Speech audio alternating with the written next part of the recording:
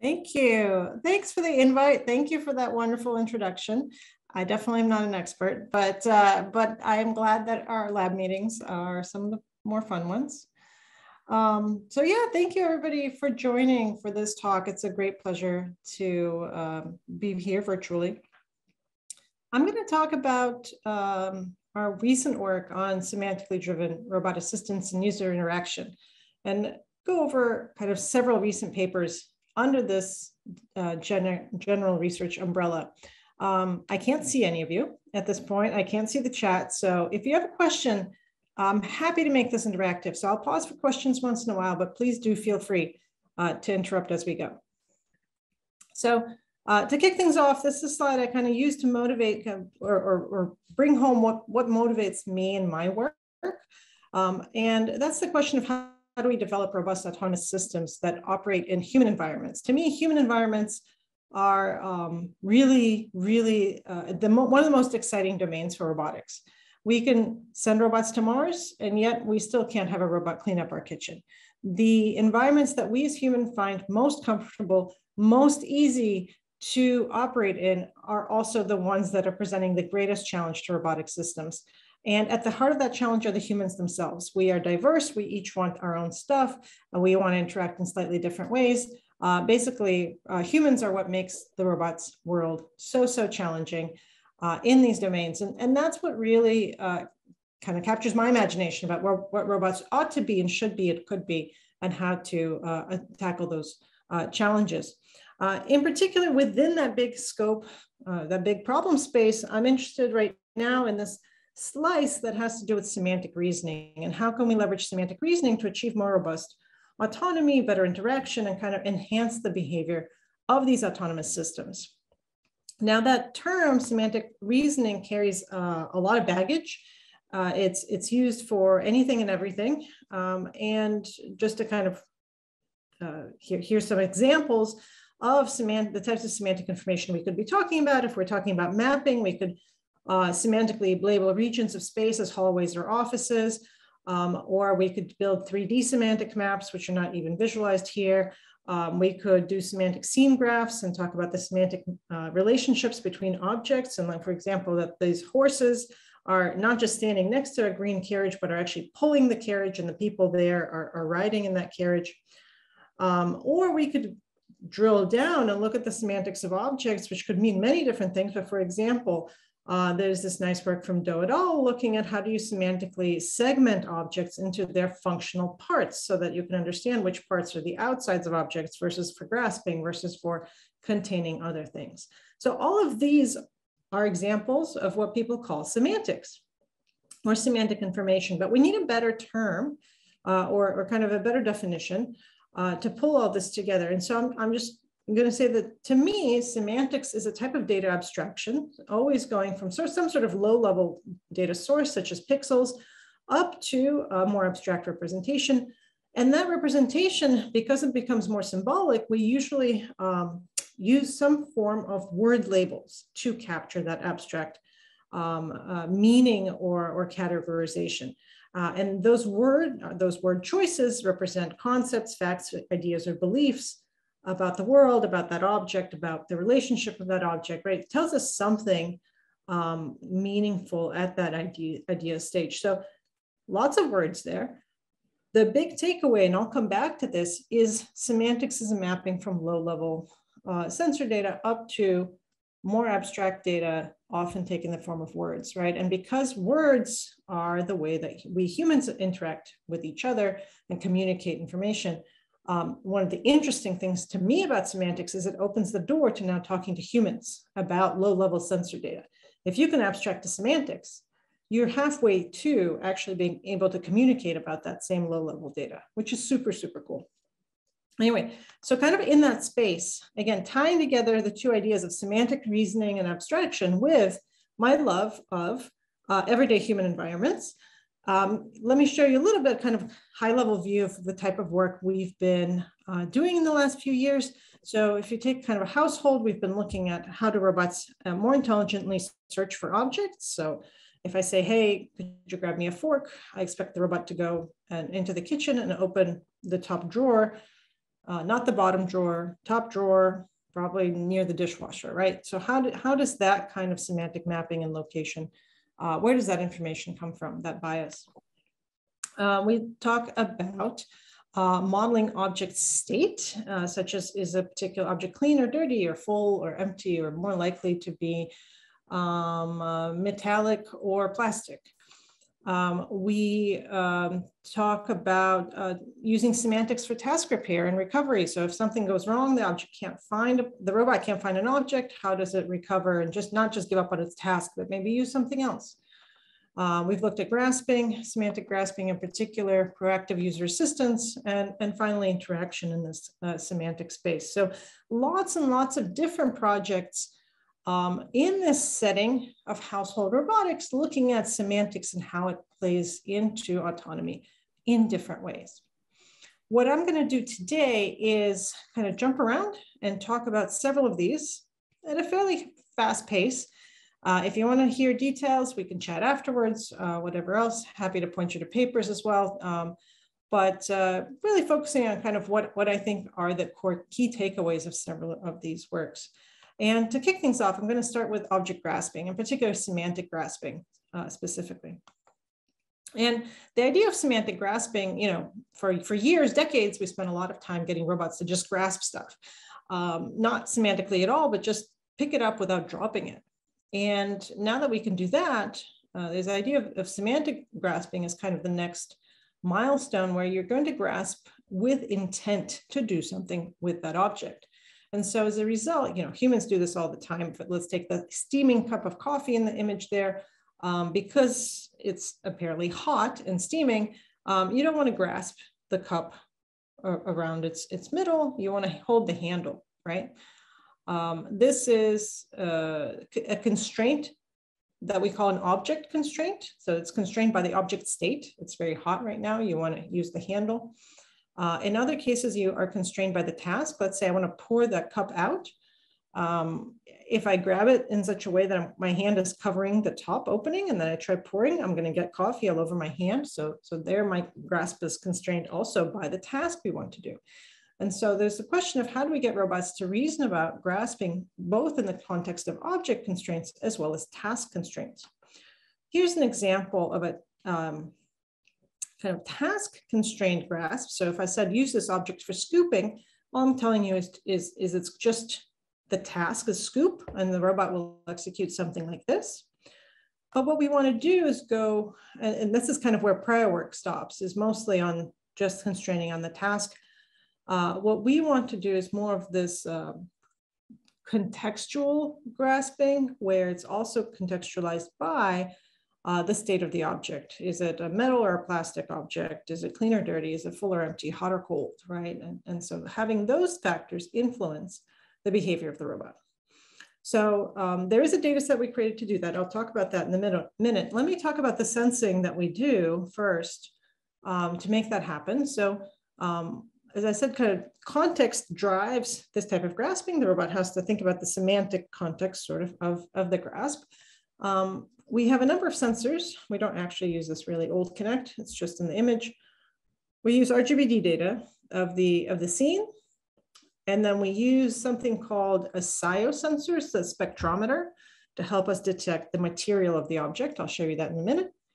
And then we also obtain from our fictitious user the task that we want to perform, scooping, for example, um, and the state of the object in this case, empty. Now in this work, we're going to get the state for clean or, or dirty, empty or full from the user. Um, our next, my next uh, topic will talk about how do we relax that assumption and, and uh, infer that state automatically. But for here, for this part, just assume it's known. Okay, so this is the kind of context we want to collect. Let me show how we collect it. So here's our robot. It has this um, object in front and it's no, it's been told to scoop and that this thing is empty. Um, so it's going to use its RGBD uh, camera to uh, perform object recognition. It's going to say, okay, cool, this is a spatula. Um, and then it's going to segment that object into semantically meaningful components. Um, this is uh, work by Do et al. called AffordanceNet, uh, a really cool technique out of ICRA 2018 on functionally uh, segmenting objects into uh, portions such as the, the, the, part that you grasp and the part that supports the ac action part of the object. Um, now, there's a lot of prior work on segmenting objects. This is not, you know, kind of not our contribution at all. I just want to show this slide to show why we use this method. Um, it's really, really nice because you can see that it, it, because it's a functional segmentation, um, you can generalize quite easily to uh, new objects that the robot's never seen before. Because if it can analyze the object and kind of figure out which part is the opening, then, for example, when it learns to grasp things for pouring, it learns not to cover the opening for pouring because otherwise you're, you're blocking uh, things with the gripper.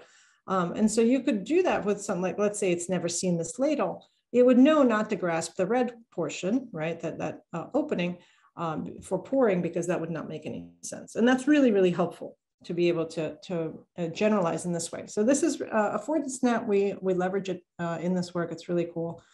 Um, so this gives us the, we now have the identity of the object and we have this segmentation of its functional parts.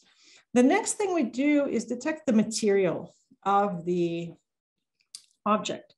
Um, and that was the quick video, I'll, I'll play it again in a second, uh, of the robot using a handheld spectrometer. You can buy it for about 300 bucks. I'm gonna play it again, here we go.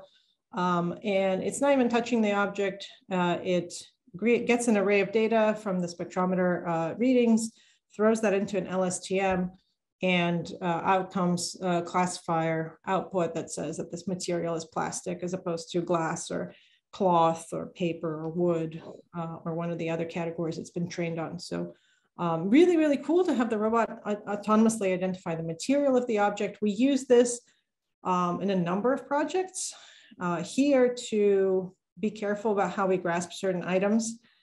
Um, metal knives, the blades of certain like metal knives that are sharp, we treat differently than plastic knives, for example. Um, but in other work, we treat this differently because you don't want to put metal things in the microwave, for example, and that's cool to know. All right. Um, so that's the material. And the last thing we do, so now we have, we've collected like all kinds of background context about this object. The next thing we got to know is um, how do we, you know, which grasp do we use to actually perform the task of scooping using this empty spatula that consists of uh, two functional parts and is made of plastic. Um, and so what we do is we run a, just a generic grasp sampler and the sampler returns antipodal grasps that are stable. So all the places you could place the gripper and get uh, successfully pick up the object. And our next goal is just to train a model to rank these grasps from best to worst for this particular task and its context. To uh, the model we use to learn that task is something called a wide and deep neural model. Uh, this is work from Cheng et al. in 2016 out of Google the, uh, as a recommender system, completely outside of robotics. So if you take a, a shallow linear neural model, um, it tends to be very, very good at memorizing prior examples that it's seen. Um, not so great at generalizing.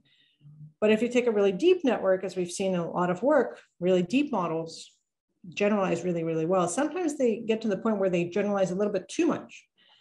Um, and so there's this uh, idea of this, this wide and deep model is a jointly trained shallow linear model and deep neural network um, that are jointly trained uh, to perform this classification task. And it kind of gets the best of both worlds in terms of generalization and memorization of, of, of objects. So um, that's the model that we use. And then we, uh, to figure out um, how to pick up a given uh, object, given all this information, we, we uh, evaluate each of these grasps one at a time, obtain a grasp suitability score, and then select the max grasp, the most suitable grasp. So here's the grasp that we select for this object. And um, we've, I already mentioned training this. Um, there's no really good, wasn't a very good data set for semantic grasping prior to this work. So we created our own data set of 14,000 uh, semantic grasps covering um, five different object classes. So we took cups, for example, lots of different cups, paper cups, wooden cups, plastic cups, glass cups. Um, and then we added lots of different states like hot, cold, empty, full, and so on. And so we have 14, at the time it was the largest semantic grasping data set. Then six months later, we did a bigger one that was a quarter of a million grasps. So if you want to get into semantic grasping, take a look at some of those. Um, and so this we with, you know, we trained on some subset of this 80% and held out uh, unseen combinations of objects and, and states uh, for, for uh, testing. Uh, I didn't really have time to go through uh, our baselines. We, there are several baselines we run in the paper that are um, visual based uh, and, and don't use quite as rich of a set of state of context as our work. Um, and our method CAGE here in green um, kind of has, certainly has the highest uh, performance out of any baseline. Um, there's a nice ablation study uh, evaluation on the right as well that, that, that, kind of analyzes the benefits of this wide and deep network and shows that um, both the wide and deep elements actually contribute the behavior of the uh, performance of the model as well as all the various contextual information uh, is being used and is useful. Um, so this is fun. Let me show you videos because it's a robots, robots and we want videos. Um, so the, this video will show you side by side, uh, either the same object as is in this example. Um, so this, this is an object that's being used for two different tasks. On the left is scooping, on the right is handing it to somebody. So you'll see different grasps. And in some of the other examples, you'll see that the, it might be the same object for the same task, but the state of the object might be different. One is full and the other is not. So here's the video. So when handing it somebody on the right, you, you hand it to them, you leave the handle free, right? And when the, the cup is empty, the robot goes ahead and puts its gripper right inside versus when it's hot, it does not. When it's handing something, again, it tries to do it differently depending on the state of the object. And this is it poking people with, with new objects. It's figured out that it should poke somebody with the sharp end of a pot, which is, I guess, functionally correct. All right, any, any questions on um, how, we, how we grasp things semantically? I have a question. Um, where did you get the labels for the for labeling like uh, which parts of the objects are like you know like the these yeah we considered crowdsourcing this but in the end this is hand labeled. Um, it's there's an interface that makes it really really quick for us to label. Uh, oh one thing i should say so a it's hand labeled. Uh, there's another work where it's, it's more crowdsourced that i mentioned uh, with um, uh, Aditya Murali is the, the first author and Animesh um, Gar, no, no, um, Abhinav Gupta is a co-author as well. Um, one thing I should mention about this work is that what we say what in training is suitable or not is of course going to be propagated to what the model learns. And I have to say, we the things we taught it are very a little bit human centric, right? We it might be okay for the robot, like maybe the robot doesn't mind grabbing really really hot cups around the base of the cup the way humans mind because we get burned. Um, we uh, decide since our evaluators may at some point be human to just go with human preferences for these grasps. So if you're ever considering using this data set, it has a lot of human bias in terms of grasping. Um, and if, uh, you know, if your robot really is not sensitive to heat, um, maybe a different distribution of grasps is more suitable. Uh, that's a design choice. Um, that I thought it should mention. Any other questions? All right. Great. So one thing we cheated on in that past work was that um, we had the user provide the state of the object. And let's talk about um, how we could have done that differently. Let's talk about modeling object state, semantic object state more generally. Now, in robotics, there's been a a lot of work on modeling um, object states from all kinds of different uh, input modalities, everything from tapping on objects and from the sound, trying to infer its material or fullness, um, to visually inspecting objects, to multimodal techniques and so on. So really, really rich body of work there. Um, one common factor across all of these, including our prior work, is that semantic information is encoded in something called a triple, so for example, cup is a container, right? Cup is made of glass. Um, these, this is basically a, what's called a binary representation because it's either, it's, it's uh, these triples are either true or false, right? And they relate to uh, factors, uh, a cup and, and, and um, its material property, glass or ceramic or fragile. Uh, and this, this kind of triple formalization has been, you can, you can visualize as a graph or a tree, but fundamentally it's, it's basically an edge between two nodes. And uh, it's really cool. There's a lot of work that's been done there, but one of the limitations about this fundamental um, representation is that it doesn't take advantage uh, as easily as it could of mutual information. So for example, if I know, you see this cup right here on the cabinet shelf, right? And if I showed you this picture and I said, is it clean or dirty? Okay, think for yourself. What's the answer? Is that cup clean or dirty? Right, it should be clean, I hope. It really looks clean. Like we only put clean things in cabinets like that, right? Um, and so the fact that we see this cup in the cabinet should significantly influence um, the, our knowledge of what of the state of the cup in, in terms of cleanliness. But if, if all we're doing is maintaining kind of these individual binary relationships, and learning that is actually, um, well, possible, but hard because it requires the model to have a lot of examples and to learn those relationships uh, in a more indirect way. And so recently in other uh, subfields of AI, and now coming into robotics, what we're seeing is the emergence of n-ary representations for semantic data, which don't just relate to concepts with a single edge, but um, look at combinations of uh, interrelated properties. So for example, uh, cups in the sink are more likely to be dirty.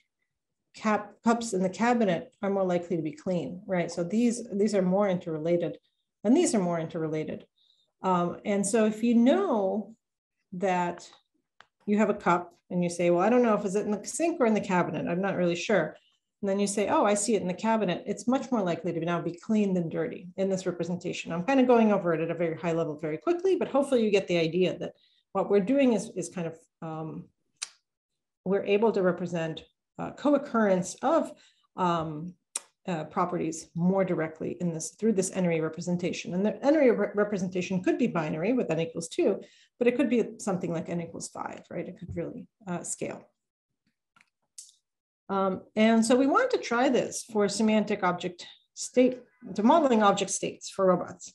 Uh, as I said, this has kind of been prototyped in other areas of AI. Um, this turned out to be hard, and the hard part was getting the data. Uh, so many things about robot robotics are hard because of data. Um, we had a hard time getting the type of rich data uh, we wanted because it's not, um, it's easy to ask someone, are cups, is this cup ceramic? But getting uh, information like, is this ceramic cup blue and full and hard and at room temperature in the sink in the kitchen? Uh, requires people to imagine a whole scene, basically. And so that's what we did. I'm not going to go through all the details, but it's like layers and layers of crowdsourcing, where we crowdsource scenarios, then uses of objects, had people kind of uh, mentally imagine certain objects and then give us more and more information uh, about them. And so we created, we, we were able to create these kind of semantically meaningful contextual scenes, like this cup I just described in the sink. And you can look at this picture and say, yeah, I'm not going to drink that. Right. It's full of some liquid. Should you drink it? Probably not. It's dirty, right? Um, all of us as humans have this strong, strong prior that this is a cup you should not drink. Right. And here's another, here's a toy knife that's gray and blunt and plastic at room temperature on the floor in the children's room was one of the scenarios. So we collected lots of these, about uh, 1,400 examples. Um, and then we wanted to learn a model that, that uh, given partial scenes predicted the missing features. And in particular, we trained a transformer for modeling these n-ary relations. So we embed lots of information. I'm gonna have another slide that shows it a little bit better. Um, we embed um, the value, right? So this is a cup that's blue, thick, ceramic full. Um, and then to training this thing, what we do is we take these combinations of uh, features around in this scenario, and then we mask out certain things. So for example, we mask out the location, sink. And then we train the model to see if we can guess, the, if, if we can predict the right uh, location or and keep training it until it does, right? Um, and we can do this iteratively. So we only have 1400 object combinations, but because we can mask different parts, I can here mask sink, and now I can mask the, the material property, ceramic. or I can mask both sink and ceramic, right? I can keep uh, doing different combinations of this for training. And I can do this for other types of cups and so on. And the cool thing about this model is that um, you can now ask queries at very, very different levels of abstraction. I can say, um, is this ceramic cup fragile? And then the only thing I'm specifying is that this is a cup and it's ceramic and I'm leaving everything else blank. I'm having the model fill it in about whether it's fragile or not. Um, or I can take an image so I can have a robot drive around and look at this, right? The scene of this rack on the wall with cups. And you can say, is this object clean?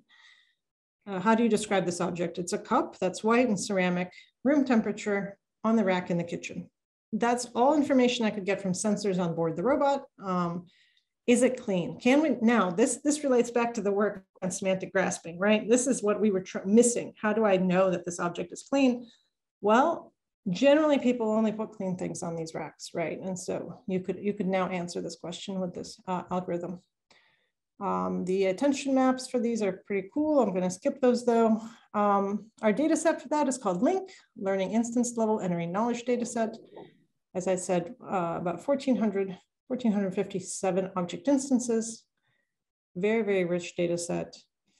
And um, then we ran it. We, we ran tests with held data, uh, ran lots of statistical tests about how well this model is able to predict missing information about objects. Um, and it, it, works really, really well. Again, I'm not having, I don't have time to go over the, some of the really cool baselines um, like Tucker Plus and so on. Um, our other leading method was uh, MLNs, uh, Markov logic networks, uh, somewhat surprisingly, um, which worked also quite well, not quite as well, but um, second best, but have an awful, awful uh, runtime uh, both for both training and testing. So that, that makes them really impractical kind of in modern day. Um, they're really, really hard to scale. All right, so um, so that's been fun. And then one last fun thing we did was we did a scavenger hunt. So just for predicting the location of objects, we created a house and we asked people. We wanted to see how well we st stuck up, uh, stack up to human participants. So we um, had like a little scavenger hunt that said, all right, look for a wet sponge. Where, which locations would you check? And then we would see how quickly people found objects and how quickly the robot could find objects. Um, and basically, so in dark blue here is humans, first try, second try, third try for finding the object. And basically by the third try, people in an environment they've never seen, right? They've, they're just given a generic household. People find it 91% on the third try. Our algorithm's 88% on the third try, uh, followed by some of the other baselines. So we're almost getting up there to human level performance, a little bit not as good as humans, uh, but that's pretty, pretty fun. So that was an interesting test to run. Um, any questions on this uh, object modeling part before I keep going? And you can always ask questions at the end too. Um, what was the difference between like humans and your method? Like what, could you be more specific on the failure cases? Yeah, that's a really good question. I don't remember I I think the robot um, maybe given more training. I, I, think it all comes down to training data, right? And and we just we don't currently have more. Um, as you can see, by third guess, the two method the two are almost the same. What the big difference was that humans were better, were more on point with their first guess, and robots were like, well, it could be one of these. Let me kind of go to one of them. Um, and so I feel like the robot was like often confused the top two locations that are most likely versus humans were a little bit better, had the edge on guessing it on the first try. So it's not that the robot was completely off and was looking for like sponges on the couch. Um, it might just look for them on the counter versus instead of in the sink directly. It probably should have looked in the sink first, but it'll look on the counter first and then in the sink, that, that kind of stuff. So they weren't egregious errors uh, but it, it was, it really needs a little bit just more to optimize. Um, are any of the baselines here uh, considering a binary relationship? Yes, I should have said that. Yes, the, the, the baselines are considering binary re representations. And they work slightly differently, but they do look at this as a, a binary semantic representation underneath kind of the reasoning framework. And so I think where we get the edge and why even with the amount of data that we have is that the, the model is able to understand the kind of complex interrelationship between these properties more efficiently than some of the other methods. Yeah, great questions. Okay, great. Let me talk about a, a recent work then. Um, so we talked about picking stuff up and getting the state of objects.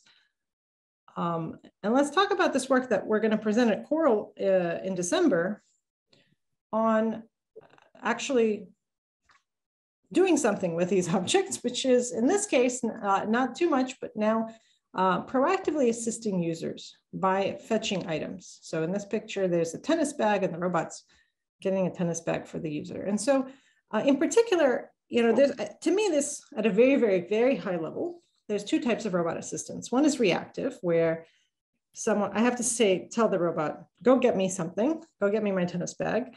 And then I have to wait and sit around and the robot slowly goes somewhere, finds the thing and slowly brings it back. Um, and, and there's two issues there. One is that um, there's a burden on the user to constantly ask for every single thing, right? And eventually that gets tiring. Um, and the second thing is that our robots, at least for the next foreseeable future, are kind of slow, right? And so honestly, it would be faster for me to go get that tennis bag, most likely, than to wait for the robot. That one day will change, but for now, that's where we are. Um, and so that got us thinking about proactive assistance, uh, which from the user side makes uh, is maybe a little bit more uh, preferable for a variety of reasons. But one is that instead of me constantly uh, telling the robot what to do, having it anticipate my need and knowing that it's slow, maybe take the time to go ahead and fetch my bag ahead of time and then come and tell me, I know you like to play tennis on Tuesdays. I set your tennis bag by the door. Um, or just bring me or leave it or don't say anything, whatever the interface is, but having the robot anticipate the needs and fetch items ahead of time. Um, so that's, that's what we're exploring in this work is this idea of proactive assistance through uh, moving objects and providing objects, kind of like a robot butler. Now, there's a number of ways you could go around this problem. Um, we made a big design choice, which was that we are going to focus only on objects and in particular, we're going to uh, observe how objects move in space. So here in this diagram in the middle, what you're seeing is that it's really hard to tell what's happening, but basically uh, as the morning progresses to breakfast, the counter, the milk, cereal, and bowl start to appear on the counter. And then after breakfast is done, the bowl's in the sink and the milk is back in the fridge uh, and, and um, cereals back in the, in the cabinet and so on, right? So objects move around. And in particular, we decided we're not going to observe humans themselves. Uh, in particular, humans exist and presumably these objects move because people move them around. But we're not running activity recognition. Um, again, design choice, but uh, expecting to, for the robot to actually model every single human activity is currently impractical. It's just from a, from a computational and, and, and classification standpoint, it's going to be really lossy. Um, and the other factor is that um, having the robot follow you around and kind of watch you at all times in all rooms is kind of creepy. And putting cameras in all rooms also invasion of privacy to some degree. So we decided to forget it. Right? The robot's going to wander around the environment. It's going to watch objects come and go. And once it's confident that it can predict with high certainty that it, you need something, it's going to uh, try to provide you that object. Um, and so that's what we do. We have the robot watch how uh, the environment changes over time, over some number of days. Um, and then it, uh, so it observes human activities of everyday life. Then it learns a model, a graph neural network in this case, that is conditioned on the current time of day and the current state of the world. So it looks at the current state the time and then predicts into the future what the likely oops, state of the world will be at some future time step delta, you know, current time plus delta. And if it can predict with high certainty that certain things will move, it'll go ahead and perform those assistive actions by getting out the cereal and getting out the bowl, etc. By the way, it's really interesting. If it figures, if you decide not to eat breakfast that day, this we have a little video that I don't have in this talk, but if you just if the user's like, yeah, that's nice. Thanks for bringing up my cereal. I'm not eating that, and you know, that's it. Um, what what's happened later in the day?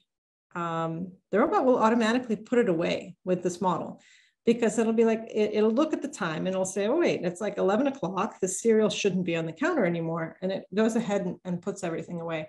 So even when it predicts incorrectly, uh, if you give it time, it'll put it all, un undo it and put it away, which is uh, automatic and kind of fun uh, byproduct of this, of this model. Um, a few more details. I'm not going to go through this in detail. It's a graph, generative graph neural network. So it takes in this um, tree structure but basically the current scene graph of the environment, which can uh, be probabilistic if we don't necessarily know where certain objects are, current time, and predicts another uh, probabilistic graph about where things are. We can take the most likely location um, of a predicted location for each object. Um, let me see what's going on with my clicker. There we go. Uh, to simulate on this, we took um, a simulator called Virtual Home. Uh, there's a little video from it. It's a household, there's a user, lots of uh, different objects the user can interact with, things that can, the user can place, cabinets they can open and so on. And again, we did a couple uh, layers of crowdsourcing, first getting people's um, routines, then we uh, hired scripters to write different ways to eat breakfast. So we would have like short breakfast, long breakfast, this type of breakfast, this other type of breakfast. And then, you know, eventually what we ended up with are these households um, that have different patterns of, of, behavior. So this is two months, two months, no, 40 days. Um, 40 days of data from two different households. And you can see household A, the left one, this person works from home. So they like get up, they eat breakfast, then they spend a lot of time on the computer in the middle of the day, but they also kind of do a lot of socializing in the middle of the day for some reason. I don't know why. Um, but, uh, and then they have us really long dinners. The person on the right goes out to work um, and prefers to eat really, really quickly. And they have other, other habits, like when they like to shower, how many showers they take. And so there's this, um, the idea being that these households try to capture routine behavior, but are nowhere like absolutely not uniform. There's preferences, but there's, as you can see, a lot of variability about how long and how frequently each behavior occurs day to day. And, and that was important to us. And each of these activities has like an actual script where the avatar would move objects around, which is what we need for this project. Um, and kind of takeaway from this is that what we want, and there's again a couple of baselines that model object movement, what we want is we want to predict which object moved, that the user we want to predict which uh, objects the user needs, like a tennis bag, right? And, and correctly give it to the user as often as possible. And then if the user actually is going to use something like their tennis bag, we, let's say we predicted that they wanted it, but then we put it somewhere in the wrong place. I took that tennis bag and I hid it in the closet, right? We don't want to do that. We want to lower that as much as possible, which is this column. And then the objects the user didn't touch, let's say they didn't play tennis today, uh, we want to touch those objects as, as, uh, as infrequently as possible, right? And we want to leave those objects alone so that we're not just randomly moving things around the house, around the person. And so in other words, we're trying to maximize the value in this first column and minimize the ones in the uh, second and third column. Um, and we're comparing against two um, prior works uh, from others in the field. I have a citation here. Um, that look for kind of periodicity in, in object movements and predict uh, how objects move based on, on various patterns of, of uh, usage. Uh, and our work kind of th with this graph neural network approach that incorporates both time and current state of the world uh, is able to handle this really hard task better than the others. We're really still far. Uh, I'm not actually sure what the ideal I mean, ideally, you should be able to present, predict what the user is doing 100% of the time, but I don't, I actually need to run a human baseline against this at some point because this data is so, so variable. Even a human wouldn't be able to predict what somebody else needs with 100% certainty. This is a really, really hard task. that we're still learning a little bit learning more about. Um, but we've had a lot of fun with this project um, in terms of, um, yeah, getting the robot to basically predict what people need and be an invisible helper uh, without being asked. Uh, any questions on this before I go on to, um, I know there's a lot here and I'm, I'm kind of getting to the punchline, but uh, happy to answer any questions if anyone wants. Um, how would you like update this data set? Like, let's say before COVID, I like going out a lot. Then after COVID, I prefer to stay in. And then if I just had a robot, like, you know, trained on the before COVID data set, it might like open the door for me around 6 p.m. so I can go out for dinner. But then, you know, during COVID, that's not helpful for me. This is You're right. Yeah. Yeah, absolutely. And so uh, one, we haven't done this yet, but one of our goals is to look at this in the continual learning framework so that it, new patterns of behavior. So let's say you start taking lessons in tennis or COVID hits and you start to become more sedentary, um, that all of these factors get uh, factored, you know, right now you'd have to retrain the model or throw away data and like move it, use a sliding window approach or something else. Um, we haven't, we haven't tackled that quite yet. That's a great question. All right, well, in the last few minutes, uh, I, will cover the last topic that we have, which is the interaction. I'll, I'll, just go gloss over it a little bit so I leave time for discussion at the end. Um, but it's this idea that we also want robots to interact with people more directly. Um, and in particular, we've been interested about robots that are autonomous in people's homes uh, but inevitably, as we all know, what happens to robots is at some point they fail. And, you know, it's, it's just a matter of time. And so there's a question of, you know, you walk into your kitchen and you see a robot kind of standing in front of the counter, its arm halfway through a movement, and it's just, that's it. It's not moving. And you walk in and you, and you wonder, like, what the heck happened, right? What's going on? Uh, why didn't the task uh, get completed? And if we as roboticists wonder this, uh, there's a really interesting question of what happens to users who are not roboticists and they're non-technical users. Um, how do we explain robot failures to them? And so we did a couple of projects on how do we generate semantic explanations um, that can enable non-experts, non-roboticists to better understand robot failures. And particularly, we want them to understand what went wrong and how to potentially fix it. And um, across that work, so it's, it's two papers that we did. We did the first one was really at HRI 2021. I'm not going to go through it in detail here, but it explored just even just the foundational work of what, goes into an explanation. How, what do you need to include in that explanation statement about the error um, for people to actually recognize errors, the, the source of the error and fix it. And what we found was that as much context about the error as possible is helpful, and that giving some of the history of the actions that happened before the error is also um, really, really helpful that users were better, you know, so again, our scenario is that you walk into a room and the robot's no longer moving. And so being able to kind of have the robot explain what it was doing right before and then, and then it failed is, is helpful. So that was cool. Um, but that, that uh, project that's in HRI 2021 really focused about kind of about the content of the explanations and it, it included a lot of uh, hand-coded elements eh, to generate those explanations. And so uh, in follow-on work that I'll describe very briefly here, we really wanted to go from raw sensor data to natural language, all the way from kind of raw sensors to natural language, a fully generalizable way to describe the semantic context of the scene and what went wrong.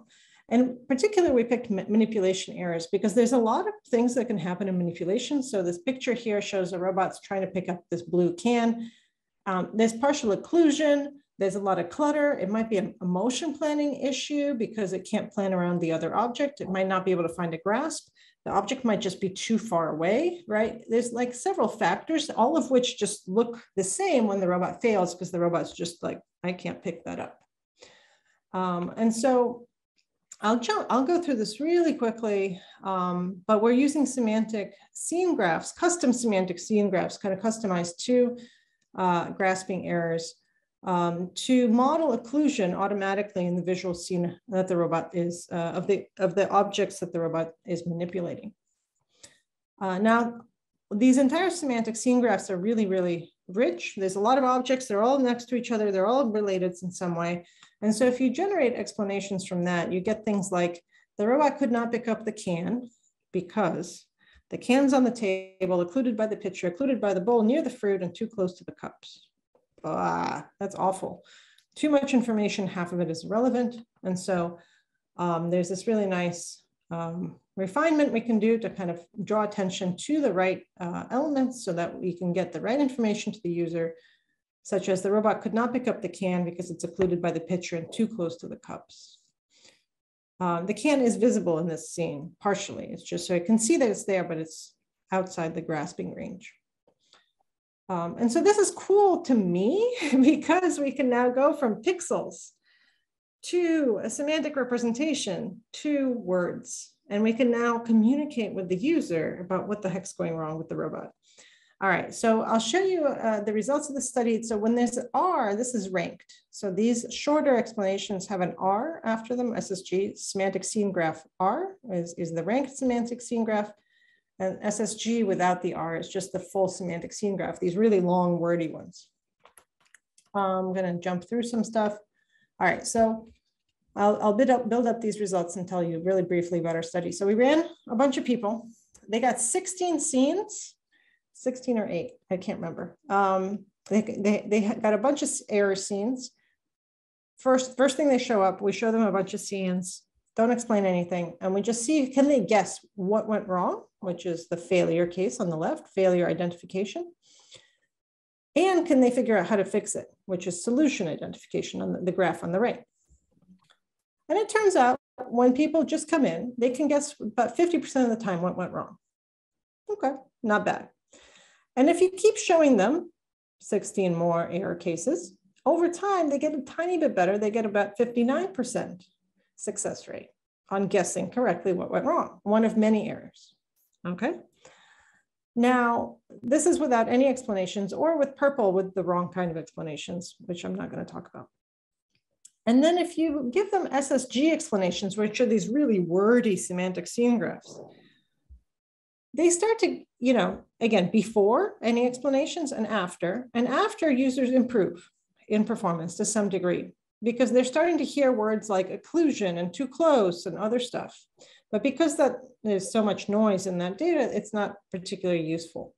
And now if I give you the ranked um, semantic scene graph explanations, these are in blue, you get a huge performance up to the 90s, right? Over 90% success in identifying the failure and figuring out how to fix it, um, which is cool to me, right? Because, and this is, there's two lines in blue, by the way, because the dashed one is the one um, we autonomously generate from vision.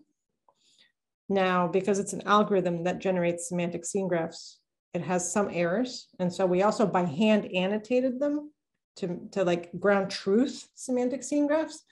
And that's the solid line. And you can see even with like some minor errors, there's not a big difference in performance uh, and as, as it impacts the user. Um, so the, the huge takeaway here is that um, we can go from taking low level sensor data and pass it through kind of a very, very established semantic reasoning process. Semantic scene graphs have been for a while, for ages. But because they allow us to establish um, a representation through which we can now communicate with people, and we can leverage that for explanations and to make users more aware of the capabilities of the robots and what's gone wrong in the particular case, which to me is really, really interesting and really important. So, so that's it. That's where we are. Um, I'll say that, you know, I've, I've, talked about all these aspects all around household robotics and all these many things, object grasping, object modeling, and so on. Um, all of these, I think, are little pieces of a puzzle, right? We, what we want is autonomy. What we want is interaction. What we want is, is, is robust autonomy that can recover and all these things.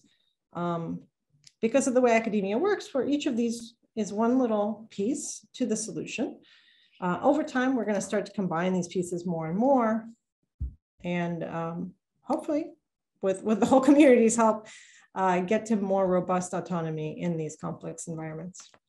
Um, so in particular, huge shout out to the students that led the work that I proposed, that I described. Uh, Wei Yu Liu uh, did the first two um, projects on uh, grasping and object state modeling.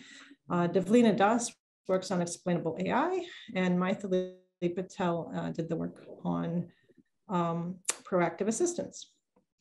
And with that, I'm gonna open it up to more questions.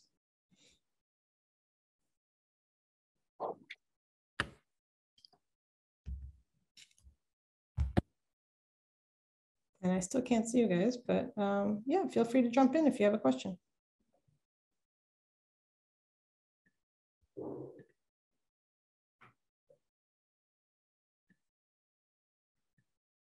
And I already got a few, so.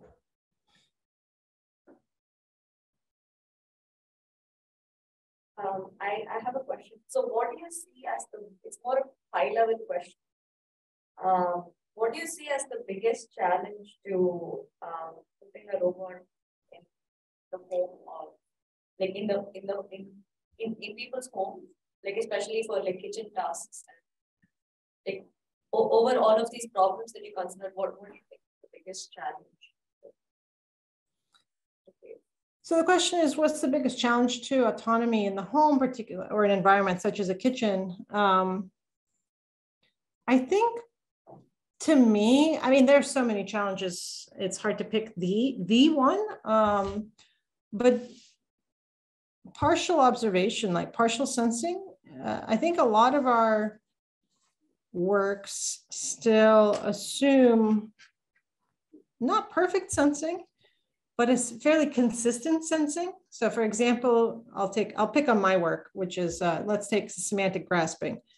It was always assuming kind of have a tabletop and then there's an object and you're seeing it from the top. Um, once you're in a real environment, there's so much more occlusion. You're dealing with stuff in cabinets, in drawers, things are on top of each other, behind each other. Um, I think the perception um, even when perception does work, because perception has so many downstream effects, it affects everything, grasping, reasoning, and so on, that um, I think it'll just be really hard. And because also because we have so many different objects, right? The world is just super, super diverse in terms of households. Um, that there's a lot of downstream effects that make autonomy really, really hard in the real world, just because it's not as clean, right? We still see most of our works in robotics are tabletop, especially in manipulation, right? We're not very often, like I think about my freezer. Like, good luck to the robot that has to go extract meaningful things from my freezer, where the kids have waffles and whatever else, and ice packs and all this stuff kind of in a jum- jumbled pile. So, um, there's, it's, I think the real world is, is messy and hard. I wanted to know about your take on like, like companies like Tesla with their robot and Amazon purchasing iRobot. Like, how far are they truly from this kind of in-home technology versus, I guess? Oh, how far? I mean, Right. The most successful robot on the market is a Roomba, right? And, and there's a reason for that, or any robot vacuum of that form, form factor. And the reason is that it considers the world as one thing, a floor. And if you violate that assumption and you leave your socks out, the robot fails. That's it right? It, it's basically, okay, then now they have cameras for localization. But for the most part, they're like, I don't care about anything else. Floors are flat, off we go. Um, anything beyond that and further up has not uh, hit the market. And we are not really seeing mobile manipulation in any uh, semi-structured environments, particularly yet. Uh, Diligent Robotics is doing a fantastic job in hospitals, but in a much more limited scope. And, and their environment is semi-structured. They're uh, a little they have a little bit of structure.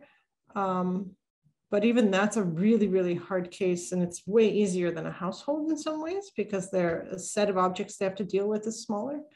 Um, but if you just look, start to look at who's doing mobile manipulation in in industry kind of commercially You, I think there's one European company as well uh, that I can't think of the name of off the top of my head, but very, very few, right? It's really, really hard. What can we do today in industry? We can do navigation, right? You can get your delivery, you, you know, your donut or pizza delivery um, on campus. That that works. Um, or we can do a stationary arm strapped to a tabletop or or upside down the way NVIDIA has it. Those those domains are a little bit easier. We're still really really struggling with mobile manipulation. Uh, it's hard because uh, uncertainty tends to explode, right? You have the uncertainty of the base and its lo uh, location and navigation and different perspectives uh, for perception, inability to have a very dense perception field uh, as the way you could in a stationary setup. So yeah, we're still a long way away from a humanoid being able to do things in the household setting, which is where Tesla is trying to go. Yeah.